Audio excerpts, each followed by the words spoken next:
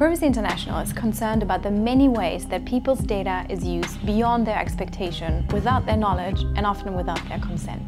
One domain where this entire problem of data exploitation is most prominent is in third-party tracking. Websites, but also apps, rely on third parties to process data. We all know that big tech companies are tracking us and collecting vast amounts of data. What many people don't know is that these companies also track people outside of their platform. Facebook SDK is a developer toolkit that helps app developers integrate Facebook products and services into their apps. In our research, we were interested in the amounts of data that apps that rely on the SDK send to Facebook about people who do not have a Facebook account. We found that the vast majority of apps that we analyzed do share data with Facebook. What's even more concerning is that this data is often shared the moment you launch the app. Many apps share data with Facebook about non-Facebook users, but some apps share highly granular data. Our technologist Chris will show you how this is done. So I have a phone with Skyscanner installed and a tool for examining the data as it transits across from the phone to the internet. I'm going to uh, open the app Skyscanner. And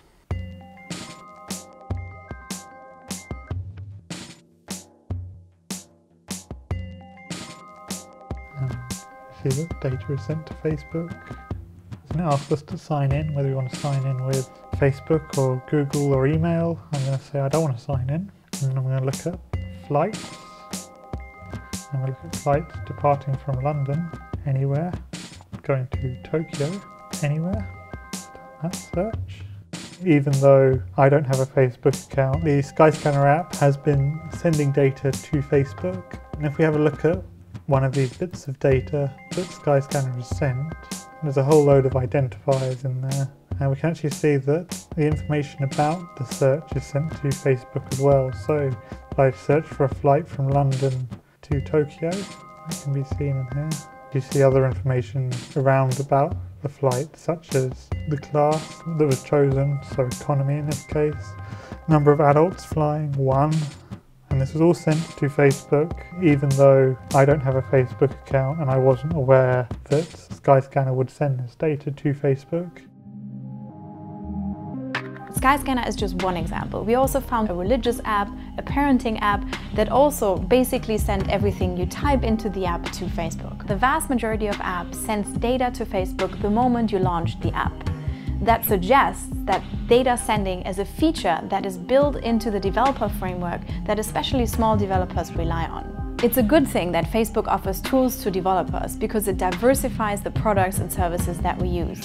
However, it is a problem when Facebook offers these tools in a way that makes it very difficult for developers to respect people's privacy. Research by computer scientists at the University of Oxford has shown that over 90% of apps on the Android ecosystem share data with Google or its parent company Alphabet.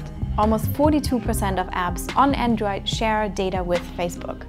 Max Van Kleek is an associate professor of human-computer interaction at the University of Oxford. So third-party tracking is extremely pervasive in the core sort of apps that you see on the Android App Store. So there, there are only really two exceptions that we've seen to uh, pervasive third-party tracking, and those are apps by very large platforms which essentially send data exclusively to themselves. So you have core Google apps or Facebook apps, or extremely obscure and not very used apps at the tail of the spectrum. The chunk of apps that don't fall in either category um, generally have extremely high saturation of third-party trackers. We don't know what Facebook is doing with this data. Facebook says it does not profile people who are not users, but we can only take them by their word. So Facebook needs to do better. It needs to provide a robust technical solution that makes it easy, especially for small developers, to not exploit people's data by default.